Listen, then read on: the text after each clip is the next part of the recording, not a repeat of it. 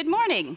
My name is Sheena Weir, and it's my pleasure as Executive Director of the Law Society's External Relations and Communications Division to welcome you to this Access to Justice Week session.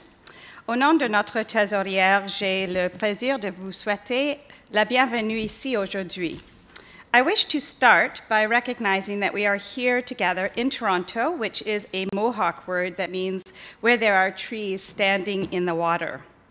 I would like to acknowledge that we are meeting on the traditional territory of the Mississaugas of New Credit First Nation and acknowledge the Haudenosaunee and the long history of all the First Nations in Ontario and the Metis and Inuit peoples. It is wonderful to have so many people joining us today, some here in the room in person and many over our webcast for such an important discussion. Thank you. This morning's panel discussion aims to equip licensees frontline officers and service providers with an understanding and the tools to assist them when interacting with self represented litigants and unrepresented litigants. The Law Society recognizes the challenges of self represented litigants in navigating this justice system. I was fortunate to have had the opportunity recently to participate in a roundtable uh, hosted by the Treasurer, which included self reps. This program today is a direct result of that meeting. Today, we aim to enhance the knowledge of lawyers and paralegals to better accommodate self reps in navigating the justice system.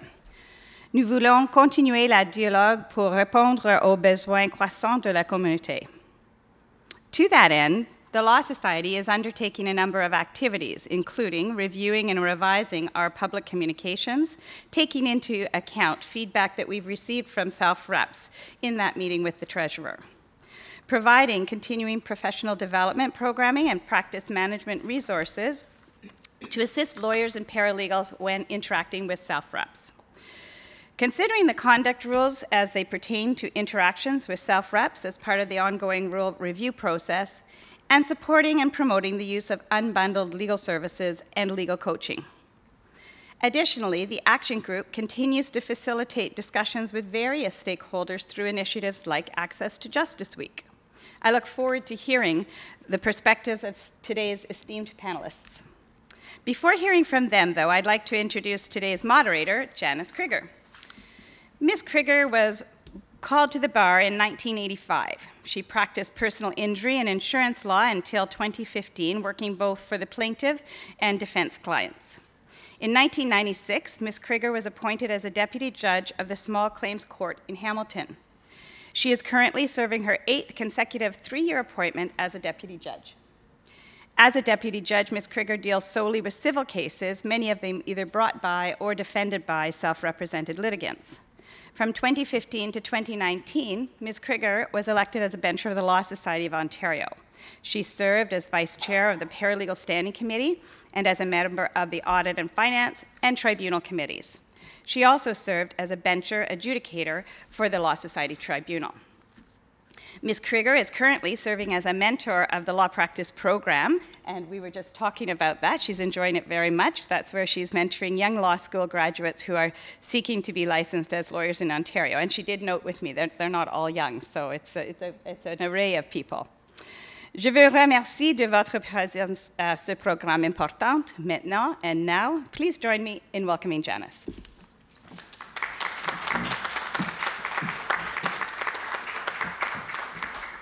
Thank you, and thank you, Sheena. It's certainly good to be back at the Law Society, and I'm very pleased to have been asked to moderate this morning's panel discussion. As Sheena said, we would like to equip licensees, frontline officers, and service providers with a better understanding and some tools to assist them when they interact with self represented litigants, whether in court or not in court. I need to begin with a bit of a disclaimer. The panel aims to offer a constructive dialogue with a practical focus on the tools and resources available to assist practitioners and support staff and the public. Please note the panelists are providing general information and not legal advice. We ask viewers to refer to the information sheet to learn more about the resources and information available to fulfill their legal needs within their means. Let me now introduce our esteemed panelists. I will start from my far right with Ms. Tami Moscoe, who is the Senior Family Counsel at the Office of the Chief Justice, Superior Court of Justice. Ms. Moscoe provides advice to Chief Justice Geoffrey Morawetz and Senior Family Justice Sutrin on any and all issues relating to family law, family court processes, and the Unified Family Court. This includes developing internal and external resources for the Superior Court of Justice to assist with the resolution of family cases, including a new guide to process for family law litigants. It also includes assisting with the development and implementation of best practices for family law and child protection proceedings. Ms. Moscoe also advises on improvements to the family law rules and family justice innovations, working closely with members of the ministry, the family law bar, and other stakeholders. Over the past three years, Ms. Moscoe has contributed to several successful family law initiatives, including co chairing the Walsh Family Law Negotiation Competition and contributing to the development of CLEO's new Steps to Justice website. She was also instrumental in the recent Unified Family Court expansion in Ontario, as well as the recent launch of Ontario's Family Law Limited Scope Services Project. Next to Ms. Moscoe, and immediately to her left, is Joel Miller, founder of the Family Law Coach. After 50 years of private practice, Joel has shifted his attention and practice to exclusively serving family law self represented litigants. He operates a virtual law office through the Family Law Coach, providing affordable, unbundled services and coaching remotely by phone and email. His effort is directed to helping those caught in a system not designed for them, providing an understanding of how to navigate the courts, legal assistance and advice as needed, and coaching to present their case with maximum effectiveness. Finding ways to provide and price services of value to those who can't afford traditional full service lawyers helps both the individual self rep and everyone else in the family court system. Before founding the Family Law Coach in 2015, Joel practiced as a traditional, full service family law lawyer in Toronto since graduating from the University of Toronto Law School in 1968. He was a partner at Ricketts Harris, a mid sized Toronto law firm, and chair of their family law group for 14 years. He taught at the Bar Admissions course and has been a dispute resolution officer for the Superior Court for over a dozen years. To Joel's left is Heather Wee Litwin, who is co founder of the Self Rep Navigators Association. Ms. Litwin, Ms. Wee Litwin is a non practicing lawyer whose work is focused on public legal education. She graduated from Osgoode Hall and was called to the bar in 2012. Before becoming a lawyer, she was involved in a personal civil lawsuit which sparked her interest in the law. During her litigation, she has been both a self represented litigant as well as a client under, tradi- under traditional full retainers. She's now founder of a public legal education project called Litigation Help, where lawyers and mediators give talks on legal topics at the Toronto Public Library and on the project's own YouTube channel. She is also the co founder of the Self Rep Navigators Association, a group of lawyers who support one another while practicing unbundled services. And immediately to my right, we have Noel Semple, who is Associate Professor at the University of Windsor. Noel is a professor at the University of Windsor Faculty of Law and the author of Accessibility, Quality, and Profitability for Personal Plight Law Firms Hitting the Sweet Spot, published by the Canadian Bar Association. Noel studies access to justice. His work asks how the law and legal institutions work in real life. It also aspires to improve the ability of law and legal institutions actually to create justice. Empirical research, both quantitative and qualitative, and policy analysis are key tools in his scholarship. Noel draws upon and seeks to contribute to the law and society and empirical legal studies traditions. Noel's work has appeared in the Family Court Review, the Osgoode Hall Law Journal, and the International Journal of the Legal Profession, among others. Between 2017 and 2019, he was editor in chief of the Windsor Yearbook of Access to Justice. In March 2017, he received the Windsor Student Law Society Faculty Award for teaching. Thank you to all of you for making yourselves available this morning. Please welcome our panelists.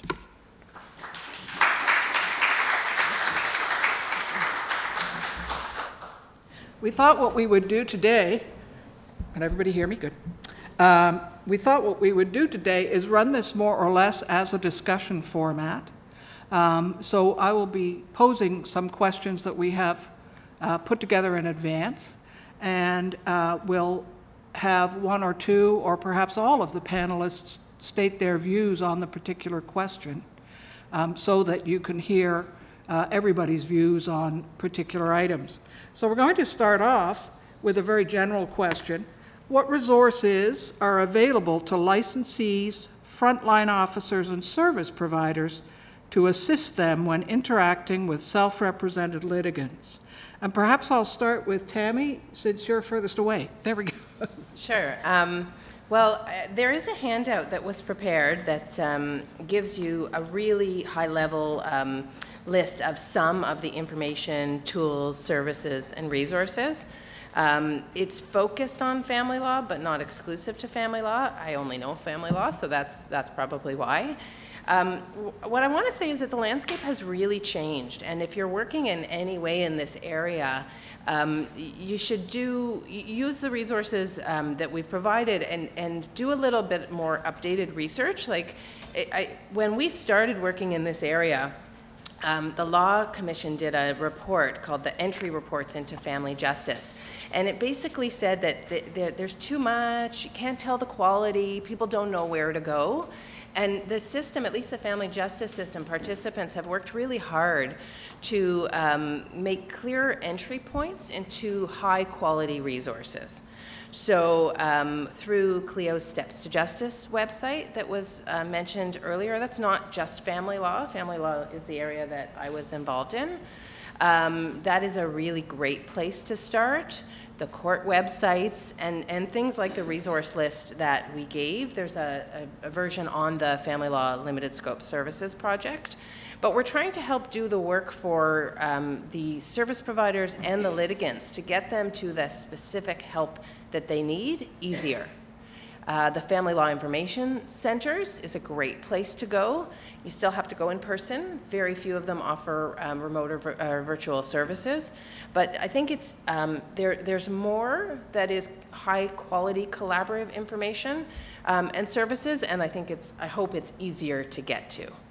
Um, you know, there's from websites to actual services to tools, the landscape is changing fairly rapidly.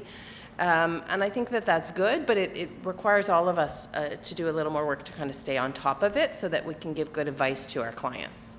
Um, I think the landscape is changing. We're going to see more change and more stuff developed in the near future. So, um, one piece, uh, for instance, so the Family Law Limited Scope Services Project, because nothing can have a short name, um, was launched within over the past year with support from the Law Foundation, and um, it um, makes it much more transparent how litigants can access unbundled legal services for family law in Ontario. You don't have to be in court. It can be connected to a mediation, a negotiation, just for some advice. Um, but there's a resource page there that has some of these resources.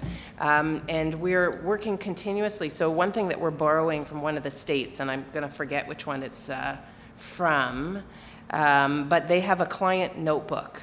And it's this amazing concept of helping clients to identify the issues and then get the help and organize themselves so that when they want to use unbundled services, they're not starting from scratch anytime they go to see a lawyer or other service provider. So um, we will soon add the, their issues, are an Ontario version of their issues checklist to the Family Law Services, Family, FLIS, Family Law Limited Scope Services Project website.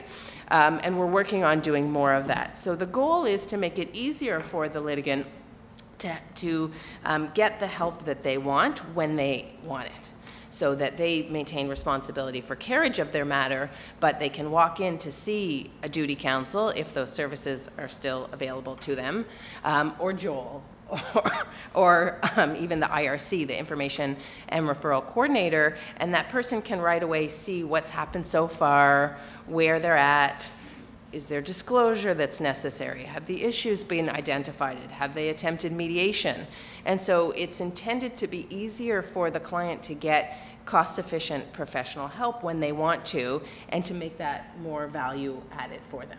So you said a couple of interesting things, and then you mentioned Joel, and I wanted to move on to Joel because your, uh, your uh, focus is on the court side, Tami. Um, Joel, take about three minutes maybe and just tell us a little bit about the family law coach that you've started. Well, the family law coach came about uh, because, as I, you can tell, I've been a lawyer for a long, long time. I've been dyeing my hair since I was 35 to try to look wise, but uh, at this stage of the game, I don't have to diet anymore. Uh, and I was beginning to think of retiring, and I noticed one day, uh, to my shock and chagrin, when I was in family court, that there were twice as many people there without lawyers than there were there with lawyers. And frankly, I had simply never seen these people before. I'd never noticed them and didn't realize that we had a system that uh, catered to lawyers with rules and forms and procedures that uh, I had gone to school about but that two thirds of the people there were unfamiliar with it.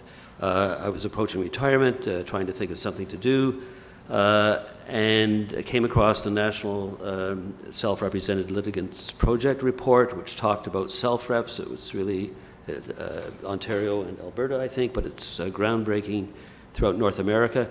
And it described who self reps were. It described uh, how old they were, their ages, their incomes, their education, the problems they had the difficulties uh, that they faced, but frankly, it didn't reach the point of suggesting what we as lawyers could uh, do. And I don't know how many family law lawyers there are uh, paying attention uh, to this particular issue. I know I hadn't.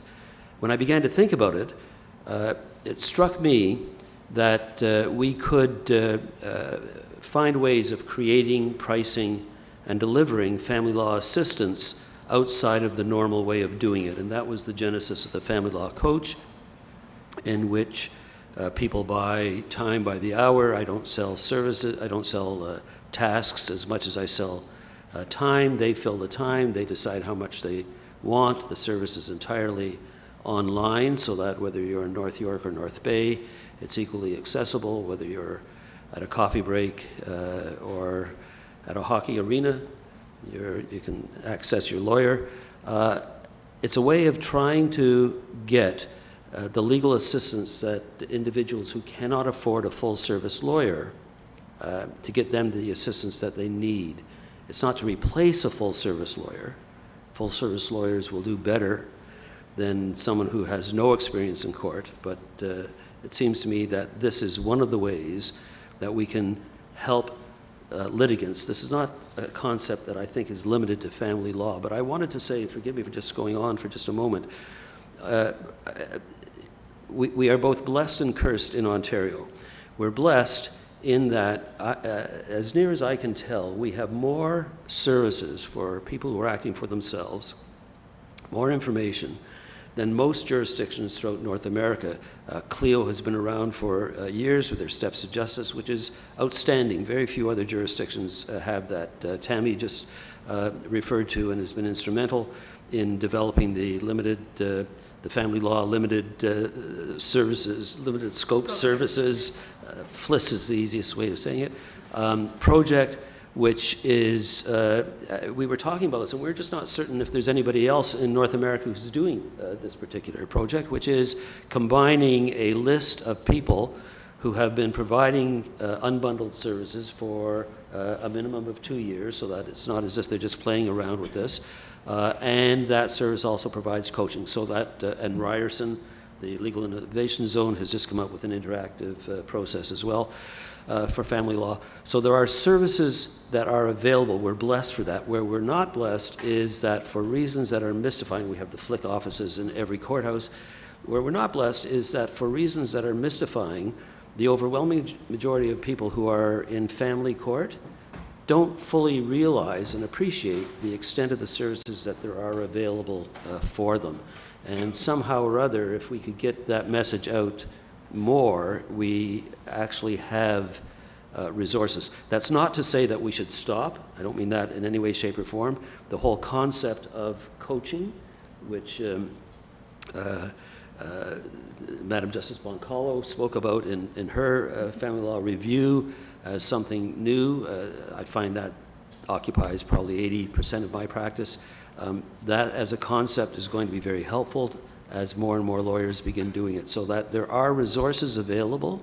We need to encourage more and more people to ask for the resources, and we need, frankly, amongst the profession, to encourage more and more of ourselves to be attentive to the fact that there are, as I say, twice as many people in family court looking for services as there are hiring lawyers. There's a terrific uh, market, if I could put it that way, if lawyers would say, I don't need to restrict, I don't need to be a full service lawyer, I can be an unbundled service lawyer, and uh, that I think is of great help to people. If I could just clarify, um, both BC and Alberta do have unbundled rosters.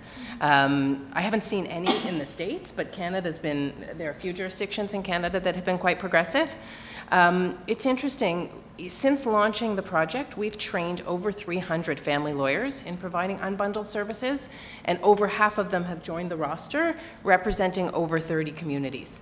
So, I- Joel, I think you're right. I think we need to, we need to get, we need to do more in terms of public awareness and in terms of um, uh, scope of the project, but I think we have come a far way in a short period of time. And I say that because when I started really focusing on this area only four years ago, no offense to my friend and colleague Judah, who might be hiding somewhere, but LawPro had caution tape on its website on unbundling. And, and lawyers, it might not surprise those of you in the room, we, we tend to be a bit risk averse because this is our business and we don't like to be sued. So I, I, I don't think we're where, anywhere near where we want to be, but I think we have made very concrete progress in the last couple of years, and I think we've laid the groundwork to continue. Um, and I'll just make a plug. If anyone is a family lawyer who's interested in legal coaching training, we will be offering one soon at a highly reduced rate in Toronto.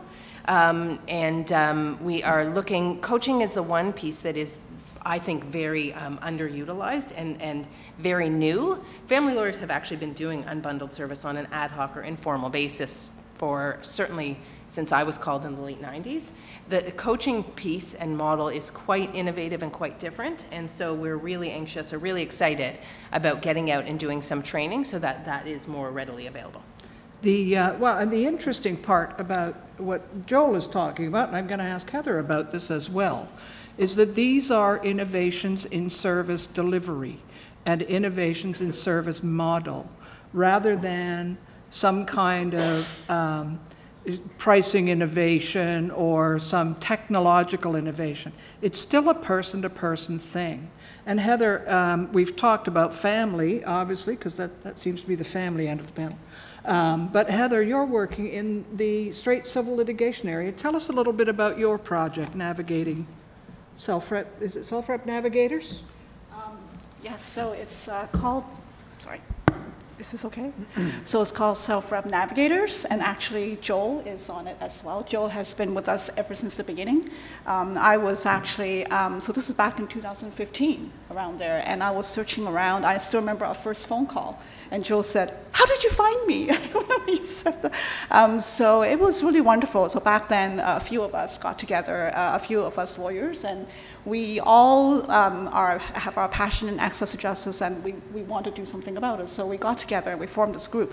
And basically, um, it's just a, a, a, group of lawyers who are getting together. Well, we were in person back then, um, and we actually got to know one another and we would um, support each other discussing um, practice issues, uh, especially, I think our favorite was probably risk.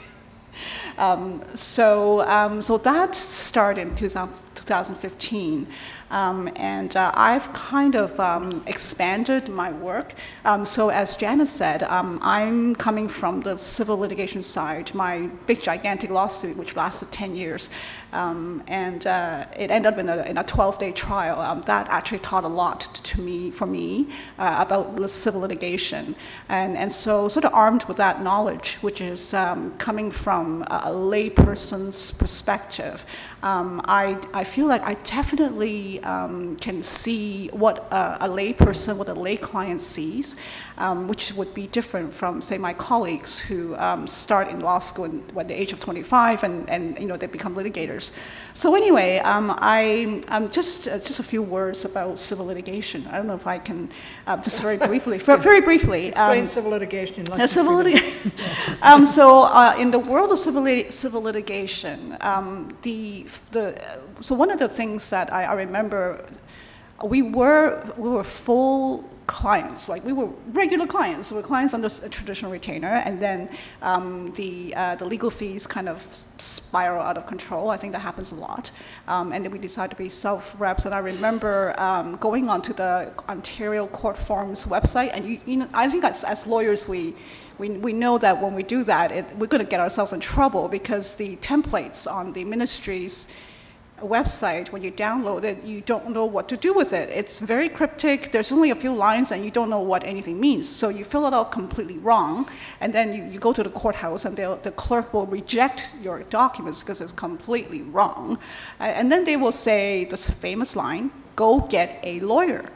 So, um, so definitely, uh, I remember the challenge um, back then. Um, I was just a first-year law student when I was self-representing, and I didn't know what was didn't know what to do. Um, and ever since then, I've sort of um, developed uh, my my work now to fill the gap, so to speak. So what I do now is um, I speak at uh, libraries uh, to try to educate the public uh, about uh, what the resources. Um, I think that Tami and, and Joel, you're saying that we need to get out there and just tell people about the resources. We have these great resources, Steps to Justice, FLIS, um, and you know I go out when I talk to people, uh, just in, in general, they go, what? um, they, they, never heard of FLIS or, or Step to Justice or CLEO. What's CLEO?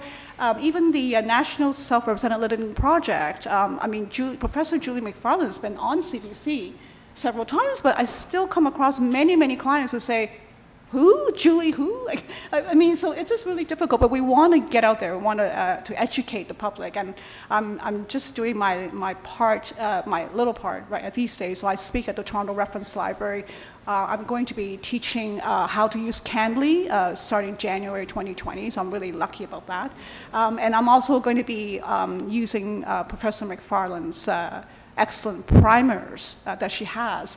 So um, I think that the uh, CLEO ha- uh, steps to justice. Uh, very, I, I think is it more family family side? Well, steps no, to justice, I think there are 10 areas of law covered. Ten- oh, okay, Family's right. just one of them. Just one of them, right? But um, the, just, just to clarify for people, um, Steps to Justice was total, a total revamp of CLEO's web um, content. They, they've had um, all sorts of public legal information for years, but what they did, uh, started, starting with family three or four years ago, is it's all question and answer driven, so that when people Google, when does my child support end, they can get to the actual answer right away without being directed to seven different resources.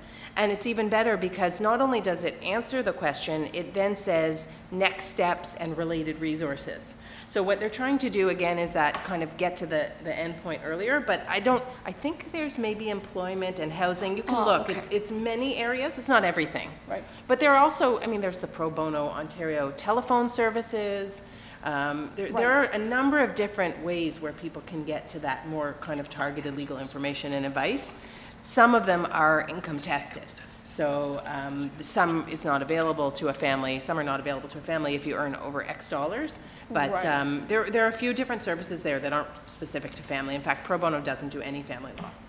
Right. Um, so uh, what I'm trying to do is I would go to the library and I've been giving several talks, uh, even this year, um, sort of like, it's like a list of, and just kind of introducing all these different wonderful organizations, which otherwise they wouldn't know. Um, and uh, I, I, I think, um, sorry. So, uh, yeah, I All think right. that's about, Well, thank you. Now, I heard you mention the National Self-Represented Litigants Project, and I'm going to ask Noel about that because Noel's from the univ, well, he's not from Windsor, he, he's at the University of Windsor, and that's something that Windsor's been very proud of. Tell us a little bit about that, Noel. Janice, it sounds like being from Windsor is an insult the way you were No, talking. I loved Windsor. I went to law school in Windsor. There you go. Uh, so yeah, just picking up on what Heather said uh, about the Self-Represented Project, which is led by my colleague, uh, Professor Julie Macfarlane at the University of Windsor Faculty of Law. Uh, so uh, I expect it's on the list on the handout. I'm sure the website is there, representingyourselfcanada.com. Uh, so that has uh, wonderful practical resources, right? So it's a directory of professionals assisting self-reps. There's very uh, concrete court-based guides. But the other thing you need to know about uh, the NSRLP and about Julie's work is that there's an edge to it, right? It's not just practical, sort of officially sanctioned help materials. There is a, an advocacy piece uh, that, that she develops, which is about whether uh, the system is perhaps rigged against self reps and whether people within the system and in positions of power in the system are perhaps using that power in illegitimate ways that makes life tougher for self reps. Uh, so it's, uh, it's definitely a refreshing perspective to take a look at. So I'd uh, encourage you to have a look. So- Some might question that word refreshing, but I'm not doubting that there are some very valuable tools that are available. Um, I'll leave it at that. Well, yet there's always going to be tension. The, uh, we have some interesting questions from um, uh, our web audience. Uh, just a quick one for, Tam, uh, for Tami. When is the family law coaching training taking place? Where to get where do, the, where do people get information on that? I- We will post it on the fam, so um, it's in the materials, the family law. It's um, www.familylawlss.ca. Um, We'll post it there, but also there's a contact us. So if you send an email, we're looking at um, January dates, but we haven't nailed them down. It will be, the first one will be a January, a a Saturday in January. Um, But just let me know if you're interested, and I will share information. All right, the, um, uh, there was a question uh, uh, which was said to be basic. Well, I'm not so sure it is basic. Uh, It says, a very ba- basic question, what is meant by unbundled services? Um, I think it's fair to say that unbundled services involve having a lawyer do a particular task for you rather than having the lawyer do the whole lawsuit or the whole dispute. So, for example, you might, um, and I know this happens a lot at small claims court where I sit, um, uh, self represented litigants might attend on a lawyer to have the lawyer draft the claim. And the lawyer would be paid for drafting the claim, but the client would then, or the self represented litigant, would then pursue the rest of the lawsuit themselves.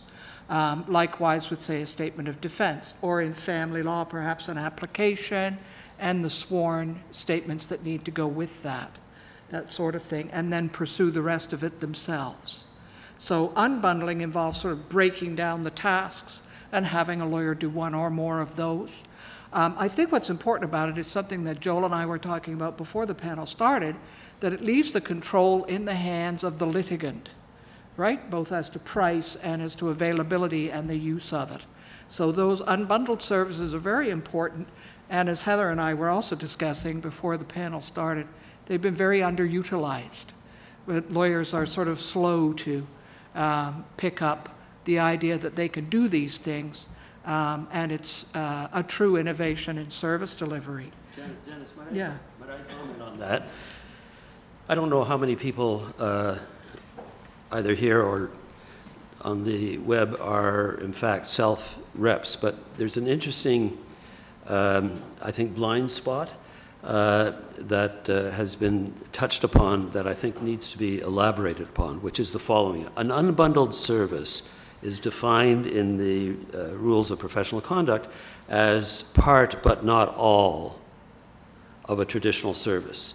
Now, one of the things that lawyers have traditionally never provided is coaching. The whole theory is that you come to the lawyer to do the doing. If you're a self rep, you're going to be doing the doing. So that there's a distinction. It falls under the category, I think, under the umbrella of unbundled services, but there's a distinction for uh, litigants who are going to be doing it themselves that when they buy a piece of a service, that is the drafting of a document, uh, some correspondence, whatever, that they should feel comfortable asking the lawyer, how do I then do the next piece by myself? Talk about the strategy. Talk about what is the judge going to be genuinely interested in hearing from me, as opposed to me telling the judge everything that I want to unburden myself with. That's not necessarily going to be helpful. So, this whole concept of coaching is something which, uh, if I can use the analogy, we've all heard the phrase if you want to help a hungry person, uh, you don't give them a fish, you teach them how to fish. That's what coaching is. Uh, unbundled services is selling fish. Uh, the distinction is something that is only uh, beginning to emerge in a fairly clear way because we, as the profession, always felt you would come to us to do the thing in court. And now that that situation is being uh, altered in the dynamic of the self represented litigant, uh, we're beginning to talk about coaching, which is why the uh, family, uh, the, the, Family Law Limited uh, Scope Services uh, project has started to do coaching, has already done coaching, and is starting to do coaching, and hopefully more and more lawyers are going to do it. I raise it in this particular context. If you happen to be a self rep out there, ask about coaching. Ask about how you are going to handle yourself when you speak to a judge. Ask what happens in front of a judge. Ask what the courtesies are. Ask what your role is going to be, what's expected of you.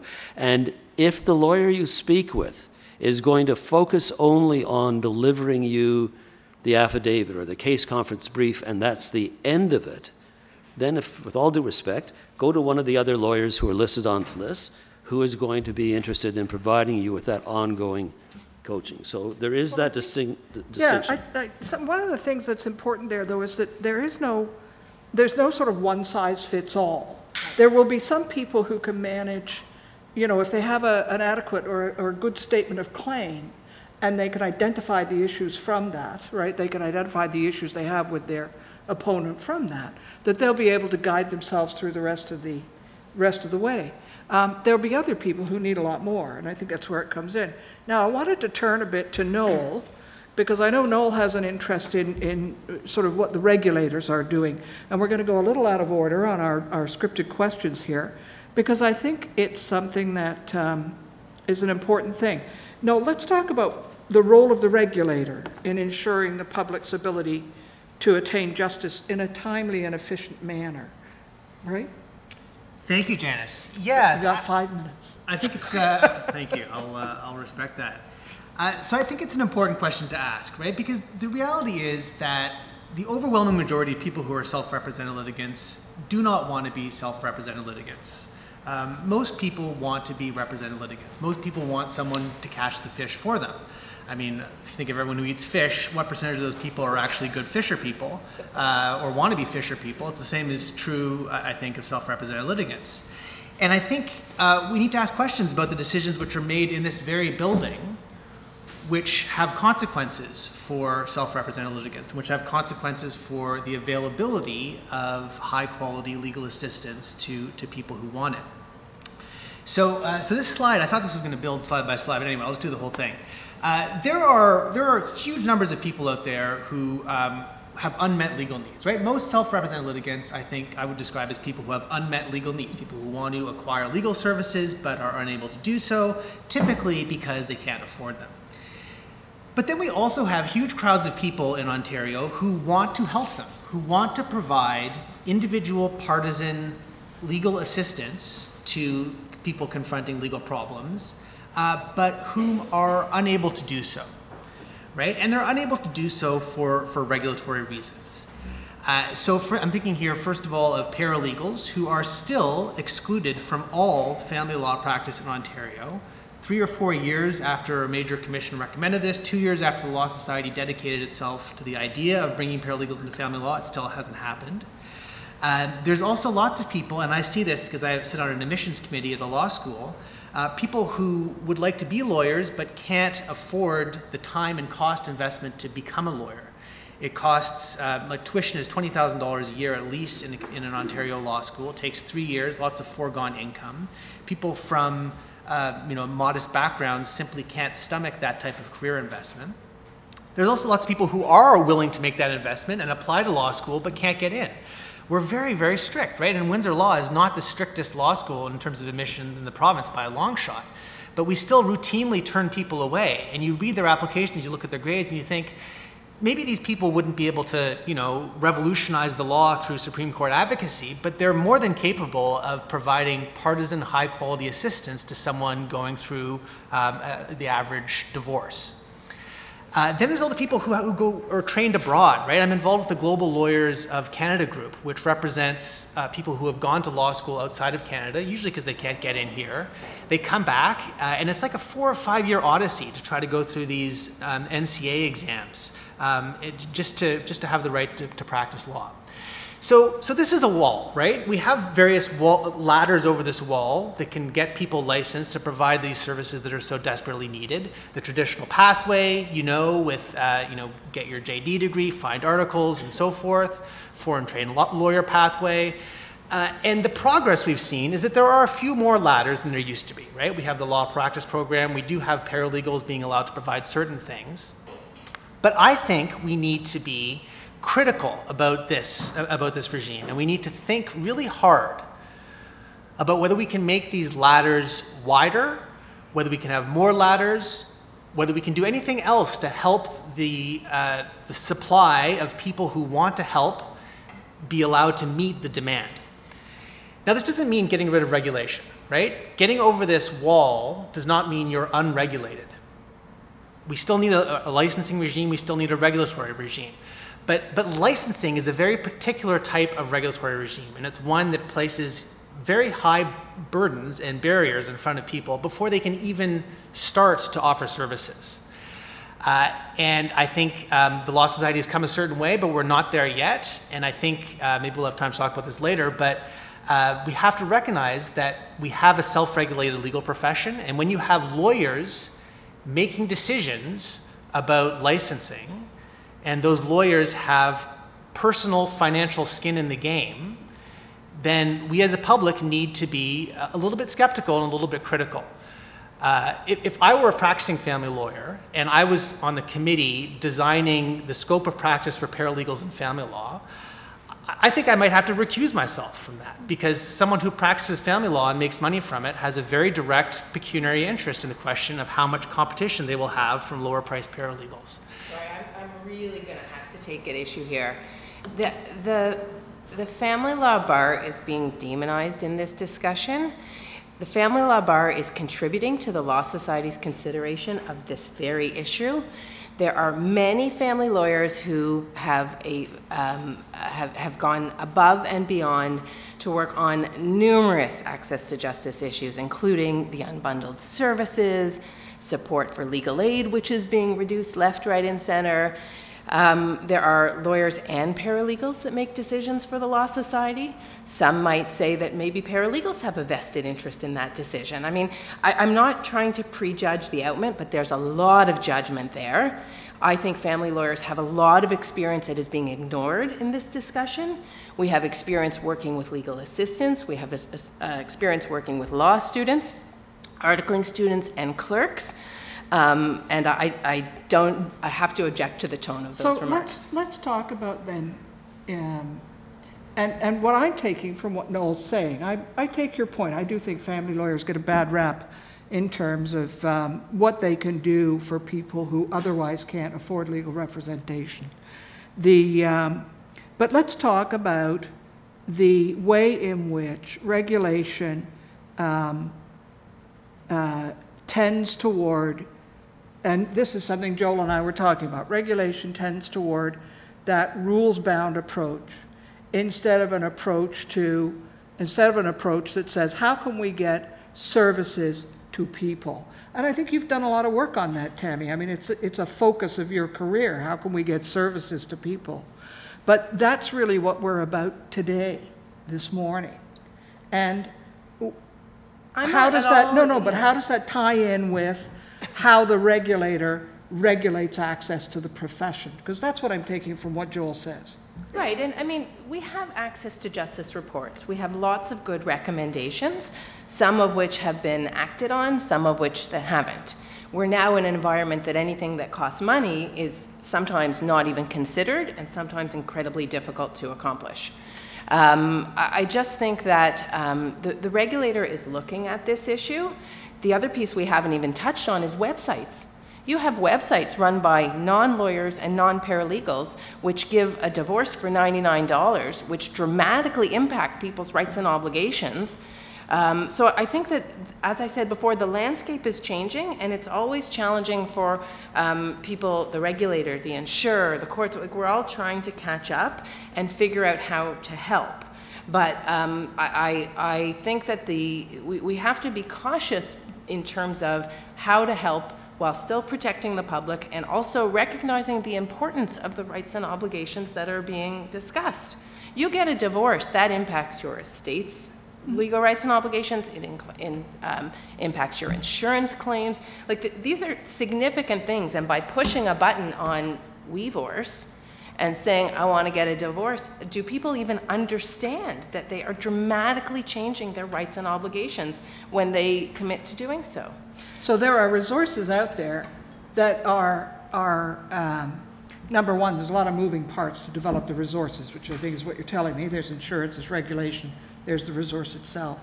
Um, In addition, you've got uh, resources that perhaps are dangerous for people to use. Well, and I think that the regulator has to look at this from a, from con- considering the competing concerns. Access to justice is a concern, protection of the public is a concern. It, it, I just don't think it's so simple to say, open the floodgates. I think that you need um, a um, principled and, and policy-driven approach to how you do these. And we're not the only jurisdiction that's looking at this. You have a number of jurisdictions in the States and in Canada that have tried different things, some of which have worked and some of which haven't. So I'm not saying that we need to do better and that there isn't room for doing better.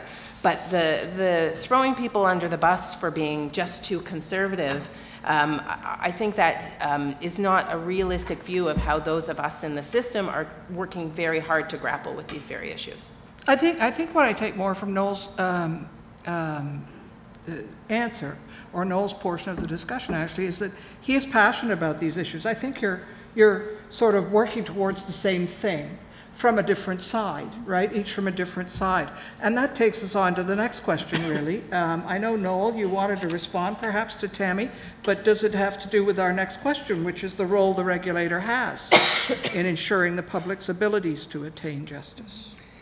Yes, so I I just want to say, I, I- And the- completely agree that when it comes to websites and technology, uh, it's not there yet, right? I mean, people still need a live human body helping them. It has to be a regulated live human body. The insurance regime is very important. The code of conduct is very important. My focus is on licensing in particular, right, which is a, a, a specific regulatory technique. And I also agree with Tami that it's not just about price, right? I think we need a, uh, a consumer interest framework right? Whenever we make regulation, whenever we decide who can do what or what the rules are going to be, we have to bear in mind the consumers have interests in high quality services, in affordable price, and in, in informed choice. So I think what we need is an evidence based, ob- objective regulatory design. And I think it's, uh, my- only point is that when the Law Society is doing that, when a self regulatory organization is doing that, uh, it's very important to avoid both the reality and the appearance of a system which is done behind closed doors and which places too much power in the hands of people who have a vested financial interest in the outcome. So let's move on, because I know this is supposed to focus on resources for people. Um, And we have talked a bit about unbundled legal services. Talk to me, uh, Heather, about how yours in particular improves uh, access to justice when you offer unbundled legal services through the self-rep navigators. So, oh, sorry. So the Self-Rep Navigators, um, we actually are com- composed of both family and uh, civil lit- lit- litigators. Um, and um, what I do myself in particular is um, I, I realized very early on that I am not a litigator type of personality. So, um, and that's kind of one of my weakness. But my strength is that I feel that I can connect with people. I understand where uh, what clients are thinking. So what I do is I offer a two-tier system. Um, I am the basically like the uh, the legal educator, um, in, in a team. So I would be um, like the intake, and I listen to the client's story. I take in the facts, um, and I would take my client to the the expert, the legal advice lawyer. So um, I've done this with a, a few of my um, of the self-rep navigators, and it's been it's been very good. Um, the clients are um, they, I mean they they appreciate that, that they have two lawyers. Um, and what I try to do is because I'm, I'm on the, the, the level of uh, non-practicing, um, so I don't have to pay as much to the, to the Law Society for the license fee, and I try to reflect that in my pricing. So uh, if they just want something explained or they, they want to understand the process, um, that's what I'm for. But as for legal advice, like specific advice, um, they would have to receive that, obviously, from the, my legal advice um, uh, partner that I work with. Um, and I also find this is interesting as well because sometimes clients don't just need lawyers, they, they need mediators. Um, and so I would again be the go-between. So I'm kind of like this uh, sort of middle person. Um, I'm, uh, I would kind of look at the case in a more like a holistic view. Um, so it's not just legal um, legal, the legal side. Uh, there's also perhaps uh, may, maybe they maybe they need to see um, some uh, maybe there's mental health uh, issues involved. Uh, I will see if I can connect them to a mental health expert if that's required. So so I'm kind of like the hub. Um, but um, sort of going back to your question, so how, how does it help? So um, I remember, uh, so when I was a self rep, um, I was really lucky because I, I have some legal knowledge. I have some, I was going to school, going to Osgoode at the time. Uh, and so I kind of basically know roughly how the legal system works. But a lot of my clients, a lot of people, they have no idea. I mean, they, they, they do have ideas, actually, sorry. They have they have wrong ideas about how the legal system works. And, and sometimes um, it's interesting because it's, uh, you kind of have to unseat them from these assumptions. Um, I think a lot of clients, they come in, uh, myself included, um, we come in with the, with the mindset that we are going to win. We are in the right the judge is a reasonable person, and we are 100% sure that the judge will see things our way. And it's really, really hard to get out of that. So when you're involved in a conflict, it's really hard to get out of that. Um, and uh, so I, I, find that um, part of my job is to kind of explain how the legal system actually works. And so that's where the legal education side comes in, is because you don't want clients to have unrealistic expectations. Uh, and uh, you know we have a wonderful common law system, but um, it doesn't mean it doesn't mean just just because you have a just system, it doesn't mean that you're always going to get a result that's favorable to your side. But that's really hard to to to educate someone. And I think sometimes I know one of the problems is uh, I know that when I was a client, um, sometimes clients don't trust their own lawyers. Sometimes clients will say, well, my lawyer is just doing this for a living. He, he really or she really doesn't care about my case. They don't really care about justice. They just want to milk me. So when you get that, when you have a client with that mindset, they're kind of not really wanting to listen to, the, to, to, their own lawyer's advice. And so this is another reason why I, I want to offer that layer of a neutral, neutral um, legal education. I, so I, can, I would say to them, I would say to people, invite people, you know, come out to my talks it's for everyone. It's not just for your case. So when there's information that's delivered that way, like it's not coming from your lawyer who's got an interest in milking you. If it's coming from just, you know, I'm speaking at the Toronto Reference Library, this is information that's applicable to everyone. You're much more receptive to, to, to open your mind and to go, oh, okay, this is not how the legal system works. Oh, I cannot just go to the judge and plead and yell and scream or whatever, or, or, or speak in um, a whole bunch of, uh, use a whole bunch of moral, philosophical language and hope to move the judge. Because I think sometimes people go, well, you know, justice prevails, and that's a very strong faith that we have as litigants. But um, I think when you're a litigant when you don't know better, when you don't know that, well, wait a second, this is not how the legal system works. I mean, there's such a thing called stare but you don't want to hear that from your lawyer, and you don't want to pay $300 an hour to listen to your lawyer preach to, you, or not preach, but you know, educate you. Um, I feel that this layer, this, this more neutral layer of legal, legal education is kind of where it could play a role.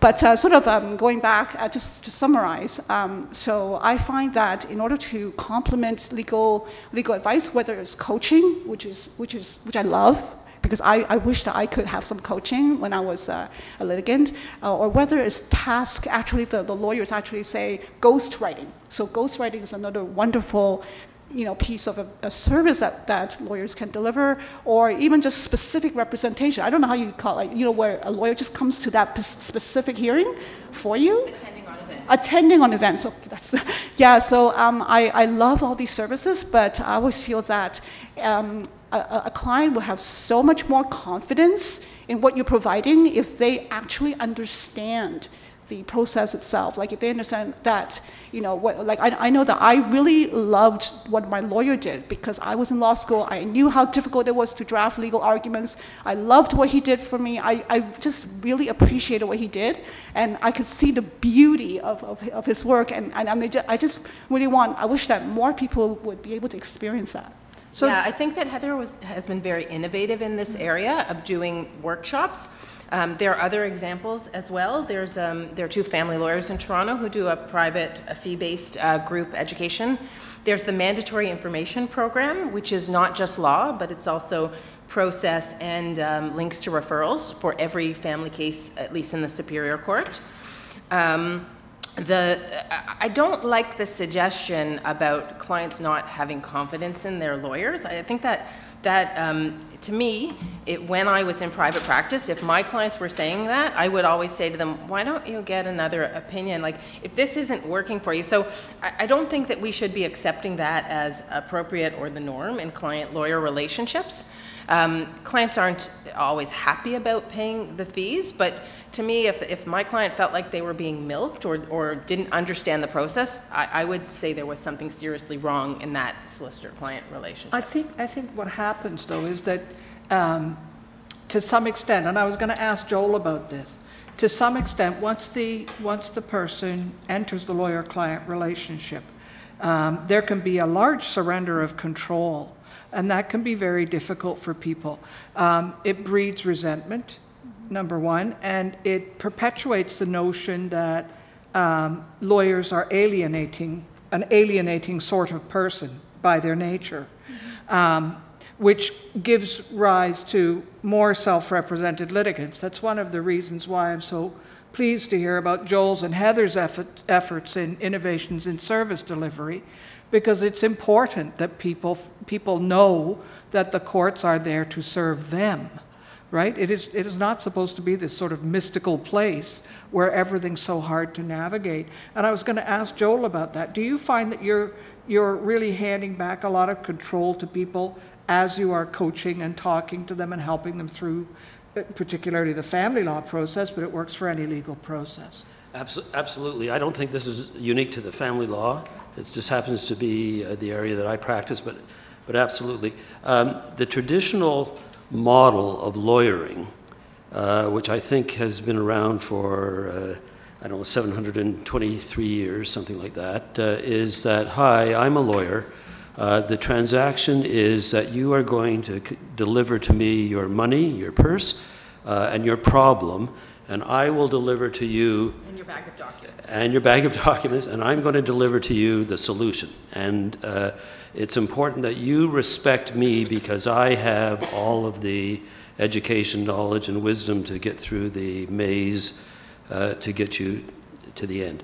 Uh, I, have th- thought that that's, uh, with all due respect to all of us, including myself, uh, you need to be pretty arrogant if you're going to practice uh, any kind of uh. Uh, barristering. Uh, you need to have a lot of confidence, and arrogance comes along with that. And we convey that to people. Uh, what I like to try to do, certainly with the family law coach, and I believe this seeps into coaching anybody. I'm not talking about me. I'm talking about people who embrace this kind this kind of practice. Is you reverse the model. You say, no, no, no, no, no. I'm going to respect you, the consumer. You're the consumer, the purchaser of services, and I am merely the provider of services. What service do you want? What is a service that has value to you? How much of uh, your resources are you prepared to spend to get what? And now that I know what you're prepared to spend and what you want for it, I'm going to provide it. So the shift in paradigm is for the lawyer to uh, uh, recognize that the relationship is one in which uh, she or he needs to respect the interests and needs of the client. It's not so much the lawyer valuing my time, I set the hourly rate, I set how many hours you need, that's the fee, because that's how much I figure I'm worth. It's the other side of the coin, how much, uh, what service do you want that uh, continues to have value for you? Coaching tends to do that. It tends to drag us out of our um, I know it all and I'm going to do it all uh, approach to how can I be of assistance uh, to you. So this is, uh, again, this is something that's very, very new. Um, uh, most jurisdictions in North America are, haven't heard of it or aren't, aren't doing it, and I, so much credit goes to uh, what, um, what Tami and uh, what we're doing, beginning to do in Ontario. But yes, to me, control is the element. I have found, I'll give this one example, if I may. I start by selling a one or a two hour package of time. That's all I ask you to buy, one hour or two hours. People inevitably, well, not inevitably, I don't know, 94% of the people buy the two hour package of time to get started.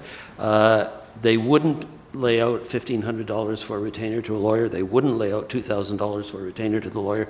They end up, on average, the average file that I have ends up spending 12 hours. I've taken out those files that spend way, way more. So now you have clients who wouldn't dream of going to the lawyer to spending an extreme amount of $1,500 end up spending uh, significant, uh, three times that.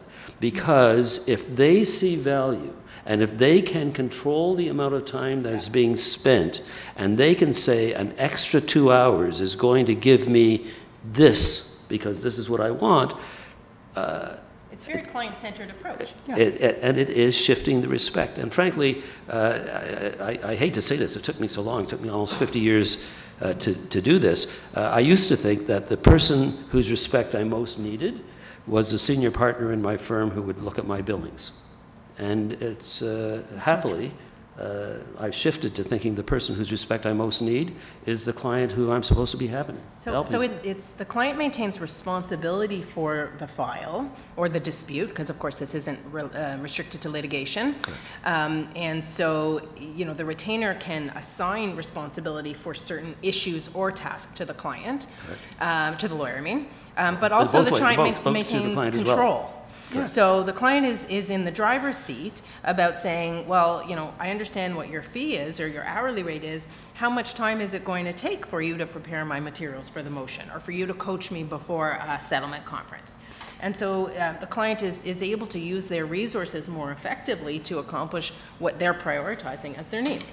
And while I absolutely accept that most of us are not fishermen, I mean, I, I really get that, uh, but uh, we, we, we need to look at, we need to look differently at self-reps than the way that we do.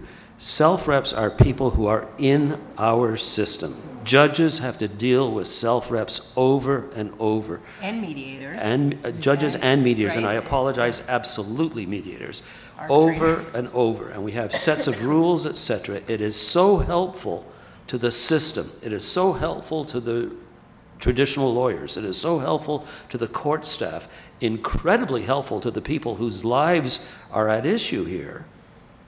If we can give them a way of navigating the system so that they can feel A, that they've been respected, obviously, and B, that they can be effective. Because people, whatever you do, if you're not a lawyer, you're not a lawyer. I mean, it's just as simple as that. I couldn't drive a bus. I go into buses all the time. I couldn't drive a bus. Most people aren't lawyers. And if they're not lawyers, when they come into a system governed by lawyers, where the rules are for lawyers and where the people who are playing the system are lawyers and the adjudication is done by judges who are lawyers, it's an alien system. If we give them help, then we help absolutely providing access to justice. The truth of the matter is, access to justice without access to services is a, ga- a game. Th- there is no access to justice if there's no access to services. All right. Thank you. Now, Heather, um, uh, I did, I have a web question here as to whether the Self-Rep Navigator Group is currently accepting new lawyer members on its civil litigation roster. Um, I have given you the person's name, um, but are you, uh, do you uh, anticipate taking on further lawyers or colleagues? Um, yes, so I have, Meet by Zoom. I have just um, consulted with my senior member here, Joel Miller, and, and he has granted me permission to. to no, I'm just kidding. Um, yes, of course, we always welcome um, new members. Um, so when I said just now that we used to meet in person, that was fun. But then I reali- we realized that that was excluding a lot of people um, uh, in the perhaps the further the farther parts of Ontario. So definitely, yes, we are accepting new members. And uh, if you go to, uh, you can just Google self-rep navigators. Just you know, Google self-rep navigators. Um, but the actual URL is also fairly um, memorable. It's uh, www.limitedscoperetainers.ca. I sh- I should say to of the, to any of the lawyers that are interested, we now meet digitally, so that you don't have to be uh, in, in any particular area. We meet online through Zoom, so everybody can see each other, and uh, you can be anywhere in the province. Excellent, that's right. So we, we just, uh, we, are inno- we are innovative.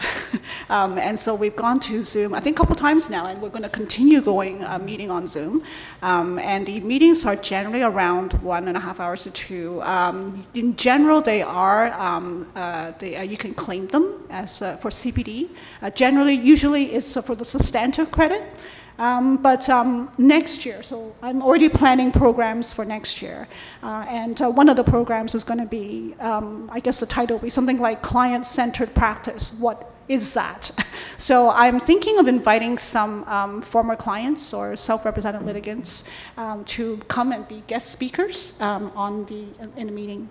Uh, I should say, though, uh, there's an annual fee of $25. Um, so I, we- we're just trying to keep fees as low as possible so that everyone can join.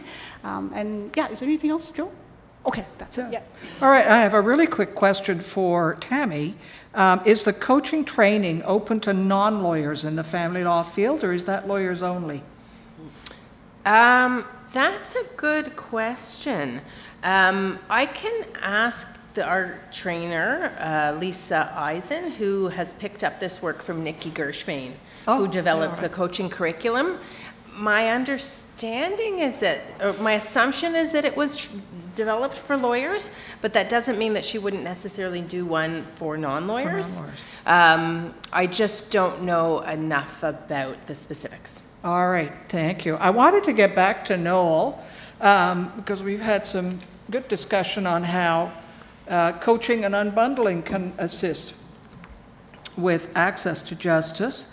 Um, But there's a question here that's sort of specific for Noel. Building on your analysis of litigation and settlement mechanisms used to resolve disputes, can you highlight the costs and benefits for the children involved?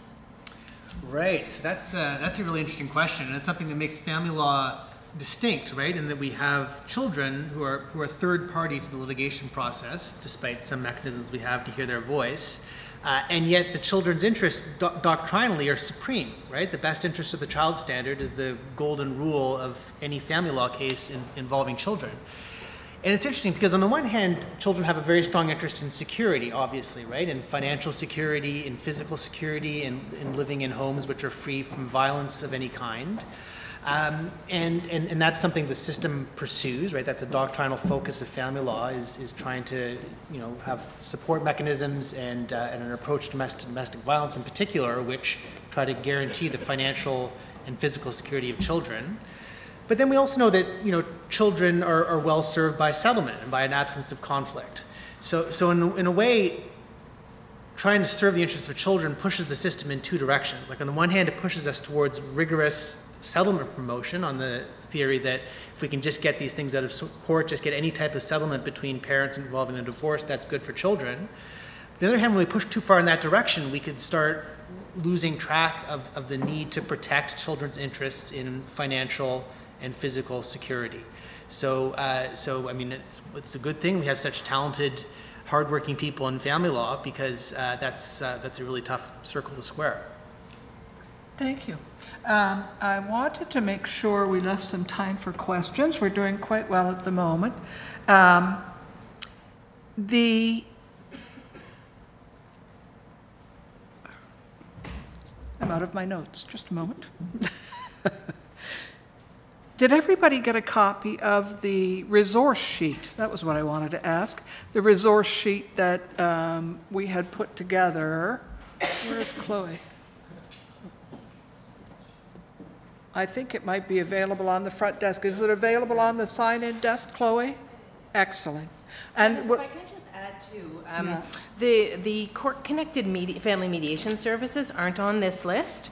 Um, For those of you who have anything to deal with family law clients, you should be aware of those. They're available, at least to some extent, in every jurisdiction in Ontario. Um, They're very, very affordable. So the on-site services are free uh, for a limited assistance. The off-site services are either free or geared to income on a very modest basis. So our court-connected mediators are fantastic. Um, Many are um, experts in the parenting field, and so that's a really good resource um, that was left off, omitted from the list. All right, thank you. Um, And I see that we do have the resource sheet available on the sign-in desk. And I take it, Chloe, we have that available as an electronic version as well for people on the web. Um, Let's talk about um, other tools and services that can be implemented to facilitate improvements um, to the licensing process or the regulatory process to facilitate further innovation in service delivery. And I'm going to ask you to brainstorm a little and blue sky a little. Let's start with you, Tami. Challenge your brain there. Um, I think there's uh, potential for greater involvement of law students. Uh, Unfortunately, we um, just had the cancellation of the pro bono students' family law project at some of our courts, like 393 University, because there's no more duty counsel to supervise them. Um, But there's an area where I think there's room. Uh, I see two of my friends and colleagues who um, are family counsel to law student clinics. Um, I think law students um, have, have a lot to contribute and that there's some room there. Um, and uh, we know that the family law project that PBSC runs is very well received where it's operational. So I think that that is certainly an area, and I know that there have been some amendments to um, the Law Society rules in, in recent years to facilitate that. Right.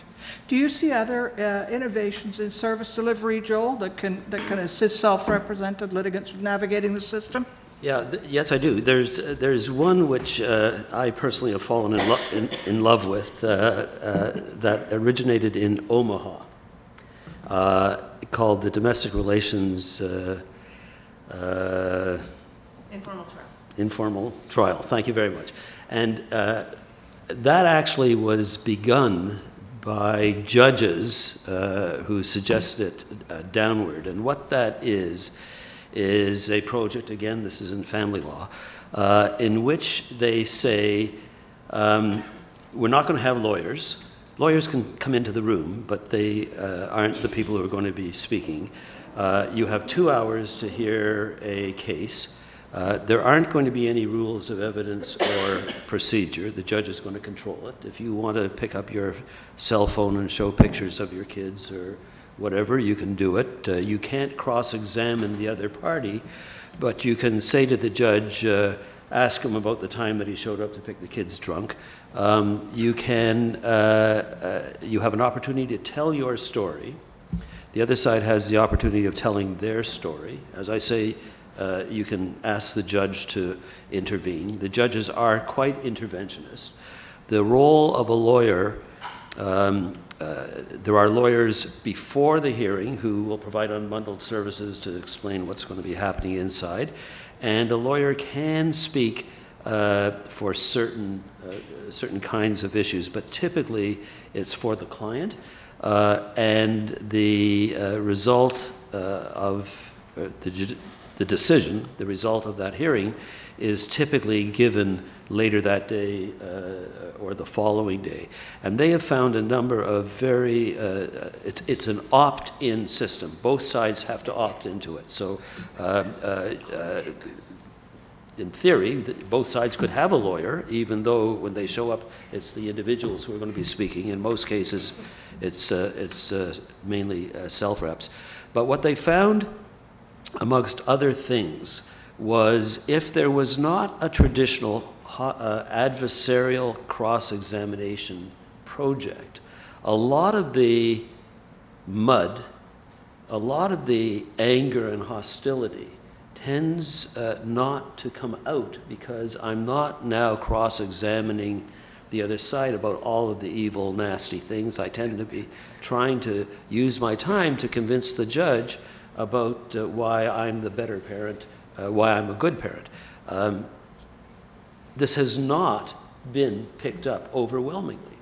Curiously enough, we have a society in which, uh, uh, even with uh, even with self reps, there is the feeling that uh, they want to have a traditional system, which absolutely exists. So this is not a replacement in any way, shape, or form, but uh, uh, just as collaborative law is a way of taking negotiating settlements out of uh, court.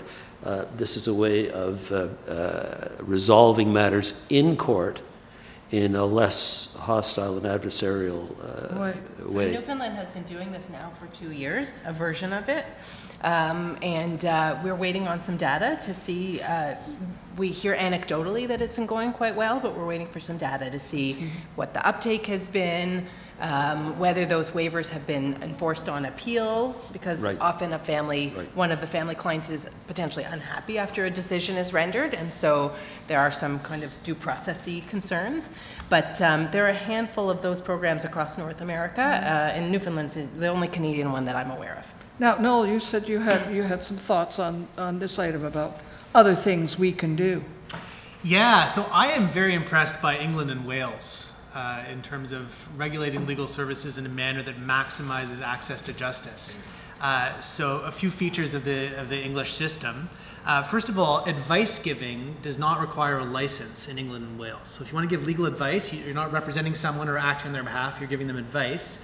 That behavior is regulated, but does not require a license. You don't have to surmount that onerous brick wall in order to do so.